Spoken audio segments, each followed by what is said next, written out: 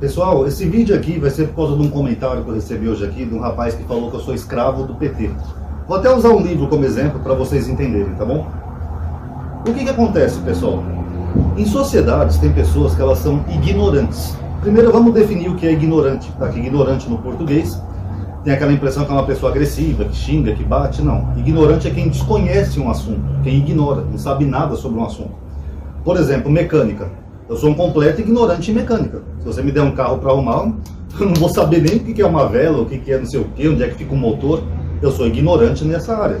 Medicina, eu não sou médico. Se você me der um paciente para operar, arrisca eu matar o paciente mais rápido que a doença, porque não é minha área. Então eu sou ignorante nessa área.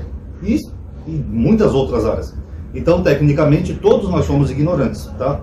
Porque nós sabemos, às vezes, sobre a nossa área, sobre o nosso assunto, mas não sabemos sobre áreas específicas dos outros. Correto? Agora, qual que é o problema? Isso é normal. Todo mundo é ignorante uma área ou outra. Agora, o problema é quando a pessoa que é ignorante, ela quer se meter numa área que não é dela e quer saber mais do que a pessoa que estudou aquela área.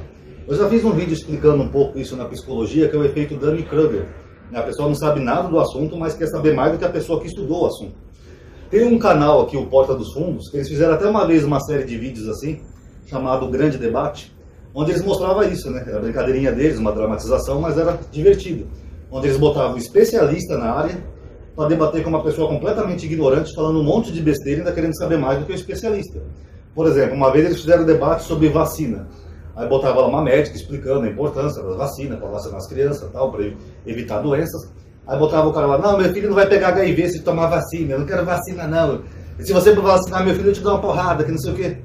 Exatamente isso, a pessoa não sabe nada sobre o assunto, mas ela subestima o conhecimento daquela pessoa que estudou. Então vamos ser bem honestos. Que nem eu falei para vocês, química e física é duas matérias que realmente eu não gosto, não me atraem. São ciências importantes, tá? só para deixar claro, tem muito respeito para quem estuda, mas eu gosto mais de ciências humanas, tá? Então não, é, não são áreas que me atraem. Então, por exemplo, eu não sei nada da, da tabela periódica. Realmente eu não sei. Então, tem como eu, eu falar que um químico está errado? Não. Se eu fosse debater com um químico, eu ia levar uma surra. Eu não sei nem qual, qual, qual é o símbolo daqueles gás da tabela periódica, gás leves, gás pesados, enfim. Eu ia levar uma surra, porque não é minha área. Então, eu respeito um químico, porque eu sei que ele estudou isso. Então, é a área deles. Então, não me meto. Tanto que eu não tenho um vídeo aqui no canal sequer que fala de química. Vocês já notaram? Às vezes eu falo um pouco de biologia, porque eu gosto de ler biologia, e às vezes eu falo um pouco de psicologia pelo mesmo motivo. Agora, química, física são áreas que realmente eu sou um completo ignorante. E, e, alguns ignorantes, pessoal, eles são tão assim ignorantes que eles começam a subestimar a inteligência das outras pessoas. Porque se você é uma pessoa que você é ignorante em uma área, que eu falei, todo, todos nós somos ignorantes, tá? Para começar normal, ninguém sabe tudo. Eu não sei tudo. Eu vivo errando aqui nos vídeos, às vezes eu falo o nome errado, às vezes eu falo uma palavra errada, às vezes me dá um branco e esqueço alguma coisa que eu ia falar. É normal. Agora, o problema é quando a pessoa quer se meter e quer impor a sua ignorância para quem estudou e acha que sabe mais que a outra pessoa. Vou dar dois exemplos para vocês. Primeiro, o Nando Moura. O Nando Moura fez um vídeo anos atrás falando que o nazismo era de esquerda. E também é uma tática deles, né? Falar tudo que é mal tem que associar à esquerda. No programa Jovem Pan, por exemplo, aquele Marcos, que eles chamam de super-homem, o cara que tem, usa óculos, tem os traços que parece o Christopher Lee, ele falou que toda ditadura é de esquerda. Toda. Então, essa é uma tática deles, né? Para tentar jogar para a opinião pública que a esquerda é má. Tudo que não presta é da esquerda. Ignorando que várias democracias do mundo e potências ocidentais têm direita e esquerda.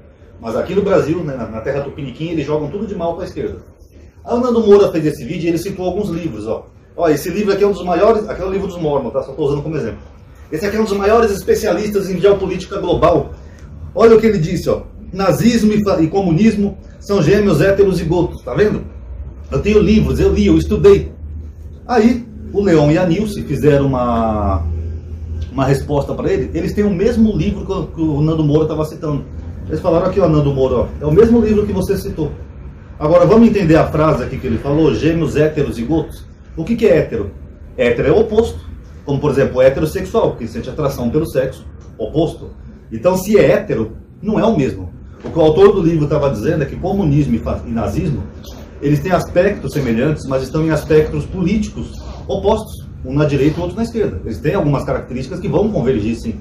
Mas eles estão em aspectos, aspectos políticos opostos. Por isso que é hétero. E mesmo assim o Nando Moura ainda tentou responder eles tocando guitarra, né? Para tentar refutar o argumento deles. Quer dizer, se eu sou ignorante no assunto, levo uma surra de quem estudou o assunto ainda, ainda quero tocar guitarra para tentar provar que eu estou certo. Eu estou subestimando a inteligência daquela pessoa. Aí não dá, né, pessoal? Outro caso que aconteceu parecido foi aqui com o Antônio Miranda. O Antônio Miranda teve uma tretinha com aquele professor Leonardo. O professor Leonardo entrou na live dele, né? E o Antônio Miranda falou do conto de Atarrachis, né? Que tem lá uma arca, que nem a arca de Noé. E ele falou que não, que não tem, que ele é especialista no assunto. Ainda ficou rindo e zombando no Antônio Miranda. Olha lá, gente, olha como ele é trouxa. Ele acha que tem barco no Atarrache, gente, como é trouxa. Sabe aquelas pessoas que não sabem nem argumentar, que é zombado, debatedor? Aí que o Antônio Miranda fez? O Antônio Miranda fez um vídeo, ele pegou, fez o mesmo que o, que o Leão. Ele falou, eu tenho o um livro aqui, ó. Conto de Atarrache. Será que não tem barco? Ele abriu e falou, façamos um barco com tantas dimensões, não sei o que, blá blá blá. Ele provou que tinha. Então o que, que acontece? A pessoa. É o efeito Dunning-Kruger que eu falei para vocês. A pessoa não estuda o assunto e acha que quer subestimar as pessoas que estudaram o assunto. Então a pessoa, na cabeça dela, ela está certa. Ah, ganhei o debate, destruiu o Antônio Miranda. Mas na, na realidade, o Antônio Miranda pegou o livro e falou aqui, ó, tem um barco. Isso a gente tem visto muito também, pessoal, nesses programas, nesses podcasts que nem o do Vilela, onde ele leva, por exemplo, aquele Eberle, acho que é Marcos Eberle, é o nome dele. Ele não, não, não, parece que a área dele é química, mas ele não sabe nada das outras áreas. Então ele vai criando conjecturas por causa do viés religioso dele, e ele vai criando umas coisas completamente absurdas, que virou até motivo de, de chacota, como por exemplo o tio X vegano. Ele foi até no programa aí do Monark com uma camiseta com Tiranossauro Rex desenhado, um bonequinho um Tiranossauro Rex comendo matinho, sabe? Para dar a entender que o tio X era vegano. Agora, cadê os dados? Cadê a realidade? Então, não adianta, ele pode até ele pode até, sabe, conseguir convencer quem não estuda essas áreas. Agora, uma pessoa que estuda a área, como por exemplo o Pirula, o Pirula, a área dele é essa, né, que é paleontologia. O Pirula ele não vai conseguir convencer. E o pior é que além de tentar querer convencer o Pirula, ele subestima a inteligência do cara. Agora olha como é bizarro isso. O cara fica lá, o Pirula, por exemplo, o Pirula estudou, fez faculdade, ficava lá o dia inteiro estudando nos livros. Pirula, vamos tomar uma cervejinha? Não, mas eu tenho que estudar para a prova, que hoje vai ter prova sobre o período jurássico, sei lá. Ficava lá estudando, com a cara nos livros, comprando o livro, pegando o livro emprestado, indo em biblioteca fazer pesquisa. O cara fica anos numa faculdade estudando. Aí chega alguém que é completamente ignorante naquela área, lembrando que ignorante é, é a pessoa que desconhece, solta uma pérola que não tem nada a ver com a área de conhecimento da pessoa e ainda acha que a pessoa está errada. Então o conhecimento não precisa mais de estudo, é só eu pegar, por exemplo, a, achar o que eu quiser e pronto. Ah, eu acho que a Terra é plana, como, como tem agora milhares aí. Não precisa estudar, não precisa estudar física, não precisa estudar gravidade, não precisa estudar geometria, astronomia. É só achar que a Terra é plana, fazer um bando de estudos aí falsos e pronto. Esse é o problema, pessoal. Agora, no comentário desse rapaz aqui, que ele eu sou escravo do PT, eu respondi para ele assim: você é um alienado que odeia o PT por mentiras e ainda subestima a minha inteligência. Eu não vou odiar o PT por mentiras. Para isso, eu estudei. Porque uma coisa é você achar, ter uma percepção da realidade. Outra coisa é a realidade como ela é. Então, o que, que eu fiz? No outro canal de política, eu já até separei para não ficar falando de política nesse canal, eu fiz um dossiê lá mostrando a farsa da Lava Jato. Tanto que saiu ontem uma matéria que um dos objetivos da Lava Jato, a pedido dos americanos, era quebrar o Debrecht. Eu falei isso naquele dossiê que eu fiz, antes de sair a matéria. Porque isso já ficou mais claro como água. Nós temos denúncia aí, como por exemplo Tacla Duran, Tony Garcia, Odebrecht e tanto outros falando que aquilo ali era uma máfia, aquilo ali era uma grande conspiração política e com o dedo dos americanos. O processo do Lula, eu já fiz vídeo, tanto nesse canal quanto no outro, e perguntei ninguém responde. Eu falei, o que, que o Lula roubou exatamente? Ele roubou a sua carteira, ele roubou o seu carro, ele, ele entrou na sua casa e roubou alguma coisa? Eles não sabem o que o Lula roubou. Só vem aquelas mentiras. Ah, mas petrolão, mensalão, né? Eu já expliquei tudo isso, não vou explicar de novo, tá? Mas eles não têm nem sequer o trabalho de estudar. Lê o processo. Eu li o processo. Ciro Gomes leu o processo. Gilmar Mendes leu o processo. Quer ver quem mais? Tanto o Zanin leu o processo. Várias pessoas leram o processo, até porque o processo é público. Qualquer pessoa que saiba ler português pode procurar aí no Google o processo que condenou o Lula e pode ler o processo. Eu li o processo, eu falei, cadê a prova? O Reinaldo Azevedo leu o processo mais de uma vez, perguntou 500 vezes para o Moro cadê a prova. A única, a única coisa que o Moro fala, ah, é, é um processo de mais de 100 páginas, você tem que procurar, tá lá, tem série de evidências. evidências não é prova. Até porque por evidências eu poderia dizer que a Terra é plana. Isso é prova? Não. Então a pessoa não tem nem sequer o trabalho de ler um processo, ou de ao menos ver um vídeo meu já, porque eu já li, e tive o trabalho de dar uma resumida para a pessoa A pessoa não tem nem sequer o trabalho e a pessoa subestima a minha inteligência. É que nesses exemplos que eu falei para vocês aí, é o mesmo que o Eberle chegar pro Pirula e falar, você tá errado, você não sabe nada de paleontologia. O cara ficou anos e anos ali debruçado em livros, chega alguém que não estudou, você tá errado. É a mesma coisa é isso. E fiquei mais de, de, de ano estudando, vendo artigo de jornal, lendo processo, ao mesmo tempo que eu fazia vídeo aqui no canal. Aí depois chega alguém que nem sequer lê um processo, chega e fala, você é um escravo do PT. É complicado essa questão política que atingiu o Brasil, pessoal. É complicado. Aí quando você pergunta, tá, o que, que o Lula roubou exatamente então? Vamos lá. Se alguém me trouxer aqui no comentário uma prova de algo que o Lula tenha roubado, eu sou o primeiro a fazer um vídeo falando, o Lula é ladrão. Agora, cadê a prova? Cadê, cadê os dados? 26 processos, ele só foi condenado em dois.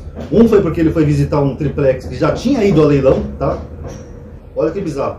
E o outro é um sítio que aquela juíza Gabriela Hart só copiou a sentença no muro. Ela não teve nem o trabalho de mudar a palavra triplex e sítio. Ela só copiou a sentença dele. Isso é prova? Então não dá, né, pessoal? Então, finalizando aqui o vídeo, até porque tá em obra, tá uma barulheira, é gato milhando. Sabe? Uma hora eu tinha que dar um jeito de arrumar um estúdio para mim. Se as pessoas colaborassem comigo, eu alugava uma, um quartinho, alguma coisa e fazia um estúdio. Mas enfim, eu vou encerrar aqui o vídeo então por isso. Só digo para vocês, pessoal.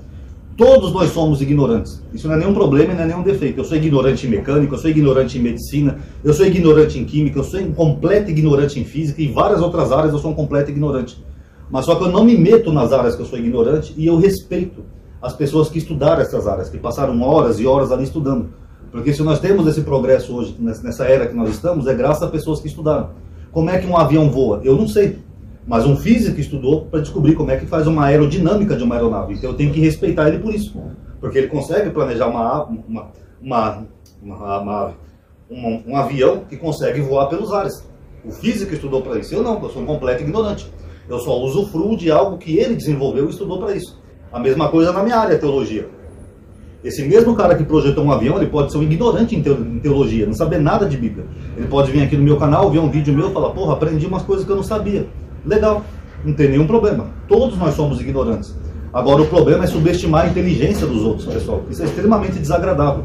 Como se fosse todo mundo burro e só aquela pessoa que não estudou o assunto fosse o dono da verdade. Ah, eu descobri a roda, eu sou um gênio. Não, pessoal, infelizmente tem muita gente que estuda, estudou muito por aí e que, e, e que estudaram nas suas áreas e elas têm a mesma ótica que eu, tá bom? Fica a dica aí para todos. Quem gostou do vídeo, dá um like aí, isso ajuda a aumentar o alcance e atividade, tá bom? Obrigado por ter assistido. Paz a todos.